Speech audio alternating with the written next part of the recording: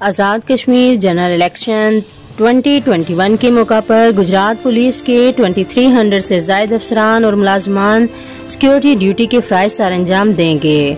D P O Gujrat Umar Salamat की अफसरान और मुलजमान को इलेक्शन ड्यूटी के हवाले से पुलिस लाइन्स में खसूसी ब्रीफिंग।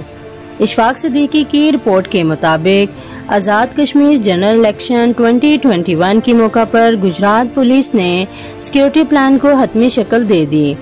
इस सिलसिले में D P O Gujrat Umar Salamat ने इलेक्शन ड्यूटी पर तैनात पुलिस अफसरान और मुलाजमान को पुलिस लाइन गुजरात में खसूसी ब्रीफिंग दी।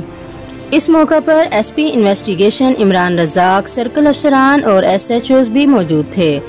District police officer Gujrat Umar Salamat ने पुलिस अफसरान और मुलाजमान से खिताब करते हुए कहा कि आज़ाद कश्मीर जनरल इलेक्शन के मौका पर ड्यूटी नहायत अहम है।